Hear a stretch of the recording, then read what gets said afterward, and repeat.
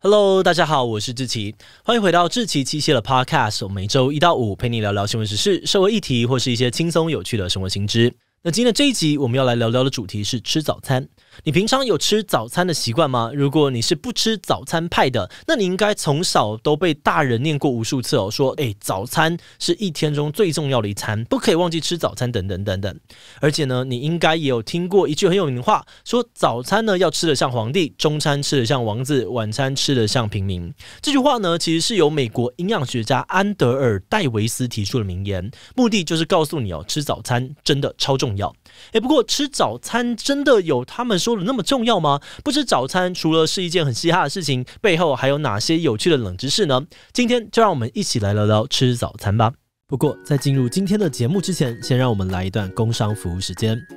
你想要开始培养家里小朋友的日常生活能力吗？那就赶快来考虑看看盲狗狗绘本吧。盲狗狗是我们团队推出的生活教育绘本，内容包含了教小朋友怎么过马路。怎么预防在卖场走失等等的安全行为？另外还有建立身体界限、认识挫折的情绪、接纳高敏感朋友等等的生活观念。我们在推出之后就大受欢迎，很多家长都回报说，他们的小朋友每天都想要听。另外也还有深受家长好评，让小朋友非常喜欢的寻宝游戏本，可以让孩子在台湾的场景当中观察细节，不止好玩，又能够让他们练习长时间的专注能力。目前十本全套组合有现省两千元的超划算优惠，那如果输入资讯栏中的专属折扣码 Podcast 七七，就还能够再打九折。现在就赶快点击资讯栏的链接，到芒狗狗官网去看看吧。好的，那今天的工商服务时间就到这边，我们就开始进入节目的正题吧。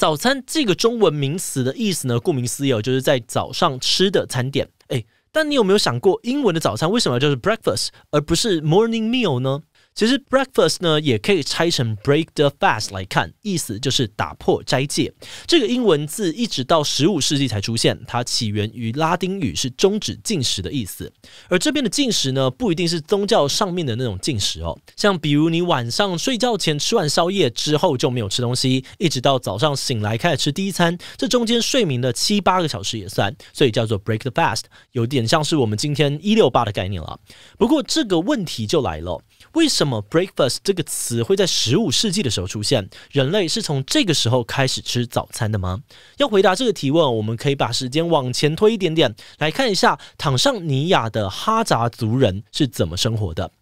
哈扎族呢是目前在地球上面少数仍然靠着狩猎采集生活的族群。学者们认为哦，透过研究他们的饮食习惯，可以解开早期人类的生活之谜。而科学家与人类学家在研究之后发现，哈扎族人呢并没有固定食用早餐的习惯，在他们的语言里面也没有早餐这个词。主要是因为呢，他们这种狩猎采集的生活并没有办法规律的获得食物，什么时候可以吃饭，什么时候要饿肚子，都是要看当天的收获来决定。也就是说，吃早餐这件事情的前提，就是我们必须要先有稳定的饮食来源。所以追溯回去哦，吃早餐呢，推到最早，差不多也会是新石器时代才开始的事情。那个时候的人类制作器物的这个能力慢慢的成熟，畜牧啊，还有种植的技术也有明显进展，可以有比较固定收成，所以才开始能够吃早餐。譬如说，考古研究就证实哦，大约在西元前六世纪的希腊呢，当时的人类。就已经有类似今天冲泡麦片粥的技术，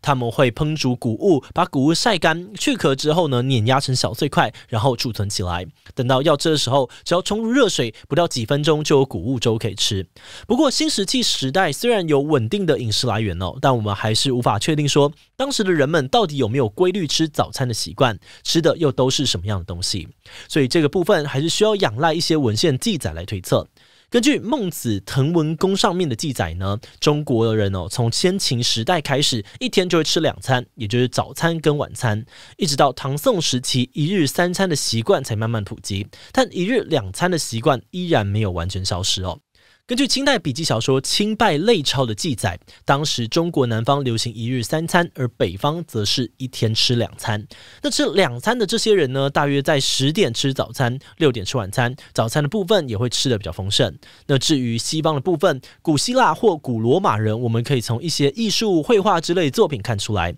他们确实也有在吃早餐，但似乎都不是主流的生活习惯。而且那个时候也还没有出现 breakfast 这个字，这个字第一次出现是在十五世纪英国国王爱德华四世的家计簿上。不过在中世纪的欧洲，早餐也不是人人都能吃。基本上吃早餐的主要客群呢，分成两种人：一种是上流阶层的贵族阶级，另外一种呢，则是儿童、老人、奶妈等等特别需要补充营养的族群。一般的大众普遍都还是会跳过早餐，一天只吃午餐跟晚餐两餐。好的，但虽然当时西方人吃早餐的不多，不过你可能会好奇，那些有吃早餐的人到底都在吃些什么呢？答案是面包跟葡萄酒，没有错，就是那么哈口，一早起来就在喝酒哦。而且他们这个早餐菜单呢，还是不分年龄的，就连小孩呢都会喝啤酒当早餐，没有在那边什么快乐儿童餐的。那根据中世纪的家庭医学文献卫生手册指出哦，当时他们吃早餐的主要目的就是要清洗口腔跟去除口臭。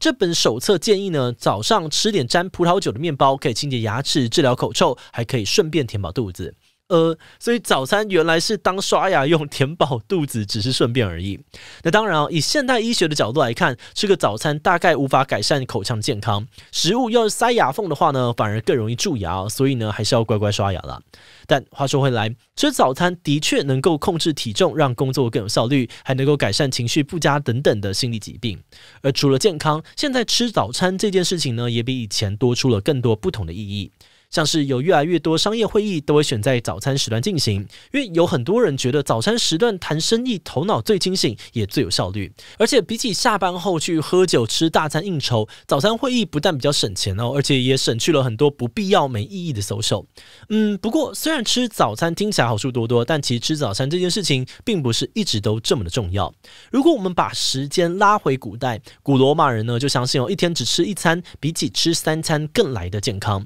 因此呢。他们大部分的时候最重视的还是午餐，而到了十三世纪，欧洲意大利的著名神学家托马斯·阿奎那也在他的神学著作《神学大全》里面写道：太早开始吃东西是一种罪恶，因为受到宗教的影响，那个时候的人觉得吃太多早餐呢会触犯七大罪之一的贪食之罪，因此中世纪的欧洲人一天当中最重视的还是午餐，其次呢是简单的晚餐，如果睡前饿了就偶尔吃点宵夜。那么早餐在以前呢，除了因为宗教观带来的罪孽之外，有些医生呢也会从健康的角度主张说，吃早餐呢会让人头脑昏沉、有气无力。所以如果你想要摆脱懒散、提振一早的元气，那最好的方法应该是去户外散散步，促进血液循环，而不是坐下来吃早餐。不过，虽然以前的人对早餐的观感并没有太正向，但从十六世纪之后，欧洲人确实是越来越常吃早餐。历史学家普遍觉得，这样的转变是因为大家的工作形态开始慢慢改变了。譬如说，一个十六世纪的欧洲工匠，他的工作时间可能会需要从凌晨的五点工作到晚上的八点，工时这么长又这么早开始工作，当然会需要吃点东西来补充体力。而后来工业革命之后，越来越多人需要固定且规律的工作时间，而这种生活形态也逐渐变成主流。那当然哦，除了生活形态的改变，各种现代科技的发明跟行销广告的推广，也是早餐逐渐普及甚至越来越重要的原因。而这个重要的转折点，应该就是你也很熟悉，多少都有吃过的家乐氏玉米片。十九世纪的时候，有一位叫做约翰·哈维·加勒的医生，无意之间发明了早餐谷片。不过那个时候最原始的谷片其实是没有什么味道的健康食品，真的就是单纯的谷片而已。加勒医师认为哦，清淡的饮食可以帮助民众的身心健康，也能够改善美国人吃太多肉而引起的消化不良。甚至他还认为早餐能够帮助大家脱离打太多手枪、不断想色色的罪恶。呃，原来这个加勒医生是 高高醒派的呢。但无论如何，后来这位医生的弟弟，也就是维尔凯斯加勒，在这套理论里面受到了商机。他把原本没有味道的玉米谷片加糖，再加上很吸引人的广告文案，成功创办了家乐氏公司。而这个品牌成功吸引到了大量的消费者买单之后，家乐氏甚至变成了全球玉米片或谷片食品最有名的公司之一。不过，虽然主打健康是谷片热卖的诱因之一哦，但加乐氏的成功最主要的推力还是当时的社会环境，因为。为那个时候有越来越多的妇女走入职场，早上要外出工作的话，就没有时间料理太复杂的早餐，所以简单方便，一道就能够吃，还能够兼顾家人健康的玉米谷片，也就很刚好的成为了早餐的首选。也是从那个时候开始，早餐也逐渐被推崇是一天当中最重要的一餐。食品公司会把早餐谷片包装成有多重维他命、纤维质等营养素的健康食品，还跟营养师合作，透过资助研究等等方式宣传早餐的重要性。那除了麦片、谷片之外哦，其他类型的食品公司当然也要抢攻早餐的市场。像是当时专门贩售培根的 Beechnut 食品公司，就为了让消费者可以多买一点培根，透过公关公司邀请医师背书，而这些医师呢，就会跟大众宣传说，吃什么麦片啊，早上呢就是要吃培根这种重口味的食物才会比较健康。而这样的观念呢，到现在听起来当然觉得怪怪的，但当时还是顺利的被普及了起来。而从此之外呢，培根与鸡蛋就变成了西式早餐必备的品相。那到了现代呢，大家吃早餐的品相当然也就越来越丰富，没有说一定要吃谷片、培根。之类的，但是大众普遍对于吃早餐这件事情，好像还是非常重视。不管你吃什么，反正早上呢就是要吃点东西。诶。但如果今天有人就是不想吃早餐呢，真的会怎么样吗？早餐到底算不算重要的一餐？其实目前学界对于这件事情也还是有很多的争议。支持早餐的研究指出，如果你跳过早餐不吃，那可能会很容易想要吃高热量的食物。因此，吃健康的早餐可以帮助克制对于垃圾食物的渴望。而且，不吃早餐的人呢，也常常会被认为容易过重，甚至是肥胖。但这种说法，有些专家是抱持怀疑的。像是有些另外的研究就表明，有的时候跳早餐不吃，反而可以降低整天的总卡路里摄取量，所以呢，没有吃早餐不一定会变胖。而且像我们前面提到的非洲哈萨族人，他们就没有吃早餐的习惯。但比起所谓现代社会的人类，他们得到西方文明病的几率非常之低，也普遍有着非常健康的肠道。而另外，虽然以前有研究显示，不吃早餐的人身材过重的比例确实是比较高的，但这些人通常也是社会当中比较贫穷的阶级，他们教育程度偏低，工作上面也常常要轮值夜班，所以导致他们。身材肥胖的最主要原因，可能根本就不是早餐，而是其他的这些因素。当一个人在生活当中难以取得这个健康均衡的饮食，那身体跟身材本来就不可能会多好。这件事情跟有没有吃早餐本身，可能没有什么太大的关联。